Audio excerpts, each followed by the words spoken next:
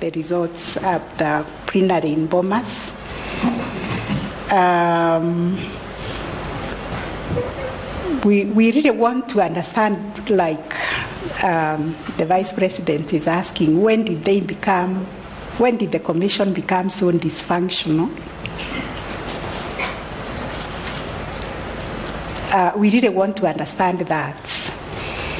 Uh, is there a stage where they were working together in tallying and verifying, and then they went and announced, and then suddenly the, there was a stoppage because um, the, the, the, the announcements also stopped streaming live. So we really want to understand that. And this could also go to the other uh, counsel appearing for the commissioners. You've raised many issues um, going way back uh, before the election. The Venezuelans, um, mistreatment by the chairman, uh, were not allowed to do this and that.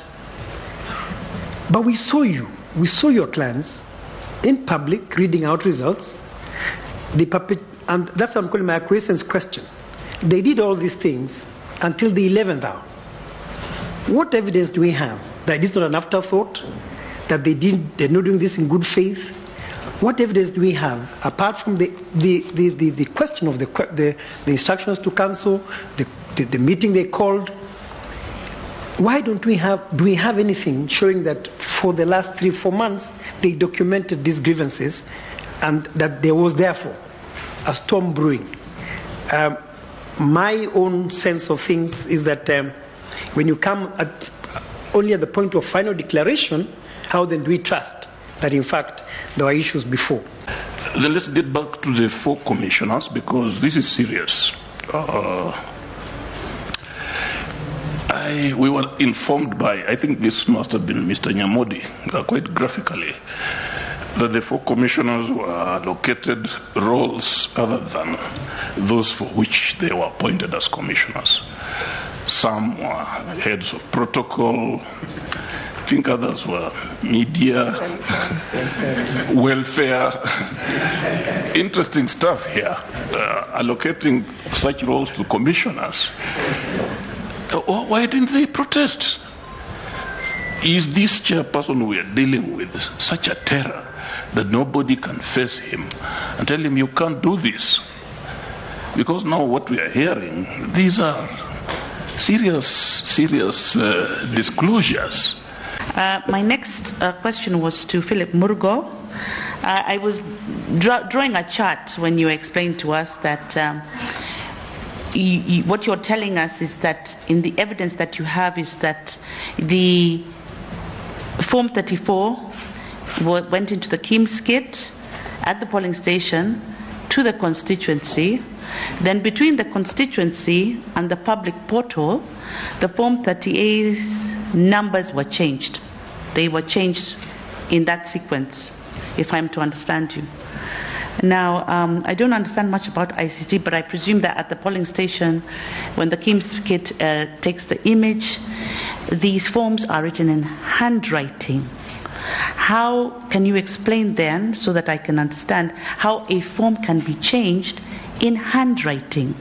The postponement of elections in uh, certain areas, and you say this resulted in voter suppression that people wake up one morning to go and vote for a particular uh, category of candidates that I go to the uh, voting or polling station to vote for an MC uh, A, or is it called MC?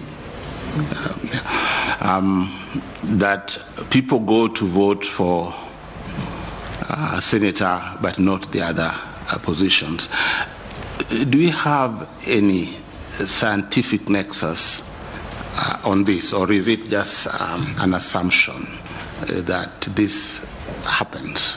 And if an election is to be ordered to be done now, um, yet one of the reliefs you are seeking is that the chair and, uh, and substantially the, the, the commission, but, substan- uh, but effectively the chair we want you want us to hold him or to declare that he is not fit to hold public office because of his malfeasance, because of his um, um, the, the, the, illegalities, irregularities, even uh, allegations of fraud that he is perpetrated, that is not fit to carry out that exercise, to be in charge of the, such elections.